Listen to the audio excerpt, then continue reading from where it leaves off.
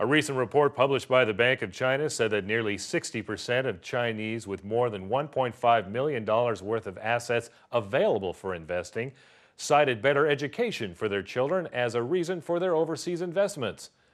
Some of those investors attended the Beijing Luxury Property Showcase 2012 in Beijing, November 2nd, 3rd, and 4th.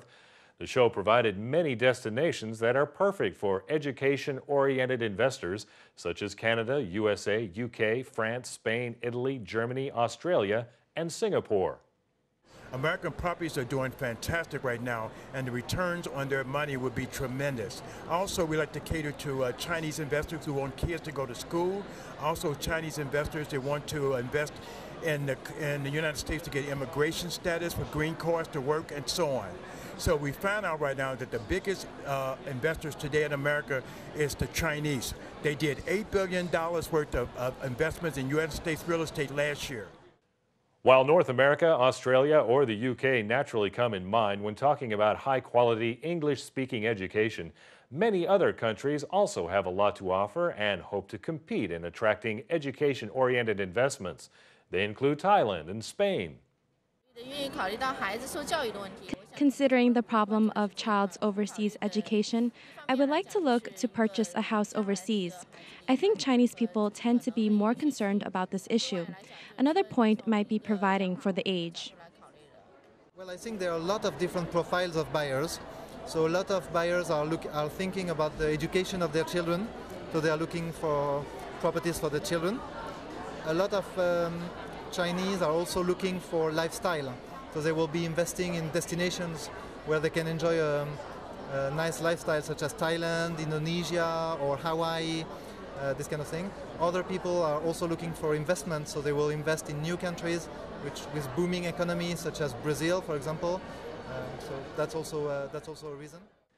Chinese buyers of beachfront villas, ski resorts, country ranches, and marina estates all have one thing in common. They are looking for a high-end lifestyle that will allow them to access a new way of life. According to Oliver de Treglode, tropical and holiday destinations are now attracting a growing number of these lifestyle homebuyers. It's very interesting because uh, um, but since the beginning of the year, we are uh, discovering this, the Chinese buyers because it's very something new for us, and uh, um, we understand they appreciate uh, the history of Europe. Uh, they like, they, they ask us how to buy a castle that has a long history, a castle from 15th uh, or 16th century, um, or a very old uh, vineyards. Um, they they want to make an investment in Europe that tells a story, actually, not just to invest money. They want to have something with a feeling. I won't keep my eyes on only one certain area, although Australia and France will possibly attract more attention from me. I tend to have beachfront villas for vacations, but I don't stay too long. The three-day LPS Beijing 2012 also had real estate companies from Chengdu and Tianjin showing their best properties at the show. There were also more than 20 forums and seminars with around 5,000 guests learning from the world's most respected real estate experts. The show organizer also stated that it's very important for them to come to Beijing because their main target is mainland China.